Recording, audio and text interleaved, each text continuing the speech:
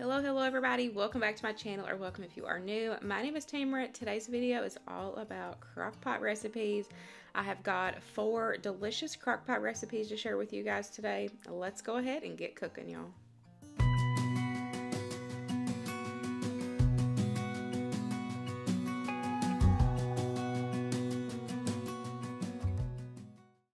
We're to start out with country style pork ribs and cheesy veggies. We're to start with the pork first because that's what's to take the longest. I've got three packs of country style ribs there. I'm just to give those a rub down with some yellow mustard. I promise you won't taste it. It is just a really good binding agent for pork and I'm to be using a pork like all purpose seasoning as well. You use what your family likes.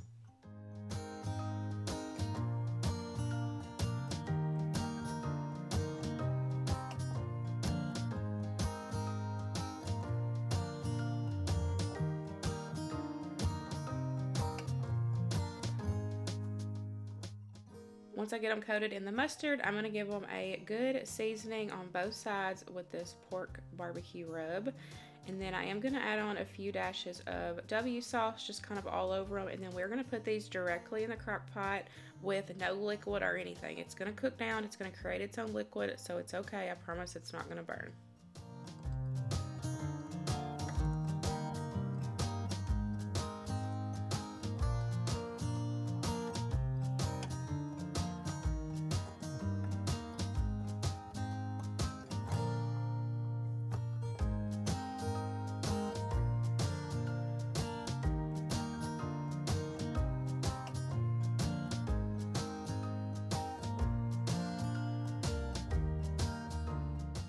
We're to put the lid on it and cook this on low for six to eight hours. About four hours till dinner time, I'm to go ahead and get my veggies going. I've got a bag of carrots there, some Brussels sprouts, some broccoli. Of course, you can substitute, change out the veggies that you want. I just use what I had on hand and what my family likes. I'm to give them a season with some salt, pepper, garlic powder, and then we are also to add in some chicken bouillon powder and a little bit of water. If you have chicken broth, use chicken broth and then I don't have any regular Velveeta, so I'm gonna add in some Velveeta cheese sauce. Same thing. Um, I just added it in and give everything a stir, and we're just gonna cook these on low for about four hours. I got the recipe inspiration for this one from a cookbook of mine. It is Slow Cooker of the Seasons. I have used it before on my channel. It is a really good cookbook. I do have it linked to my Amazon storefront. And if I can find the recipe uh, online for this one, I will have it linked so y'all can have it. This was so good. I know it doesn't look appetizing right here, but I'm telling you, they were cheesy, super flavorful. The veggies were cooked perfectly, and I will definitely be making this again. Here is what the pork looks like when it is done. It is fall apart tender, super juicy and delicious. Now I have done this both ways. I have served it just out of the crock pot, put barbecue sauce on it per person, and that's actually what I did in this video. But I have done it in the past where I have put these on a sheet pan, brushed them with barbecue sauce, and put them under the broiler for a couple minutes.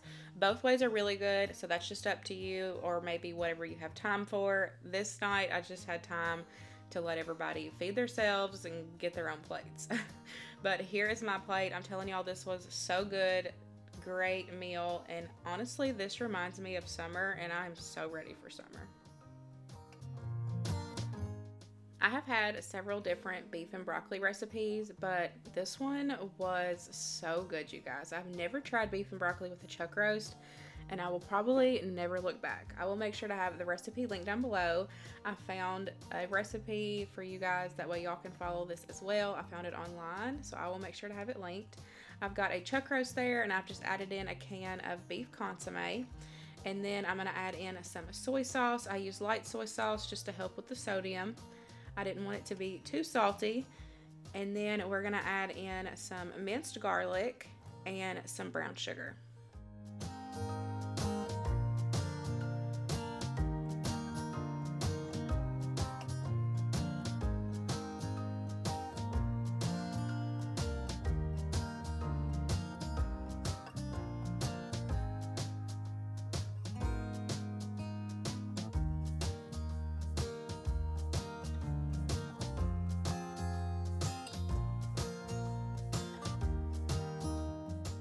We're gonna put the lid on it and we're gonna cook this in total for about 10 hours. You want, if you want your chuck roast to fall apart, super juicy and tender, give it about 10 hours to cook. Lower and slower is better. You're gonna have a nice juicy tender roast. About two hours until eating time, I went ahead and added in a bag of frozen broccoli. I put the lid back on it and just let it continue cooking and it cooked that broccoli. Now, if you don't like your broccoli as cooked down, I would add it like an hour or 45 minutes. Um, we like ours, you know, cooked down quite a bit. And so I did do ours about two hours until eating time. And here is what it looks like when it's all done. That roast just fell right apart. It was so juicy and tender. We absolutely loved this recipe. And we will definitely be making it again.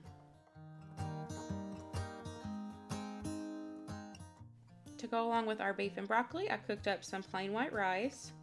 I also made some semi-homemade Chinese noodles and then I did some sweet carrots as well. This was the perfect at home Chinese. It was like we were getting it from the buffet. Last but definitely not least is French onion burgers. If you are an OG, you know how much we love this recipe. It is absolutely delicious, and I've actually had a lot of you guys email me or comment or message me saying I tried this recipe and it was so good. If you are new here, this is definitely a must try recipe. I will make sure to have it linked down below for you guys. So in the bottom of my crock pot, I've got a little bit of French onion soup. It's I like to use the Campbell's. I prefer the Campbell's, um, but that's just up to you. I've got a little bit of that in there just so the hamburgers aren't sitting directly in the bottom of the crock pot. And then I'm just gonna add in my hamburger patties. I do about six of them and I sear them on the stove for a couple minutes. That's gonna lock in the flavor. Make sure you season your patties. That's going to lock in that flavor on the patties and it's also going to render off some of that fat, unwanted fat in your crock pot you don't want to have to deal with. So I sear them off for a couple minutes on each side and then we're going to get them added into the crock pot. Once I get the patties added in, we are going to add the rest of our French onion soup right on top of the burgers and then we are going to top that with our onion. I just slice up the onion and we're going to add it right on top. As this cooks, I do try to get the onions down in that liquid just so they help cook down and get that delicious flavor because those onions are really good piled on top of your burger. We're going to put the lid on it and let this cook for 8 hours. Here is what they look like when they're all done. They're so good. The onions are cooked down. Now with this recipe, one of my favorite tips is to put these burgers on toasted buns. They're so good with toasted buns. We also serve them with provolone cheese, and this night I served it with mac and cheese, and y'all, these were so good. These four crockpot recipes are definitely favorites in my house. They are so easy to put together and delicious. I really hope you guys enjoyed today's video. I hope it gave you some new meal inspiration, and I will see you in the next one. Bye, guys.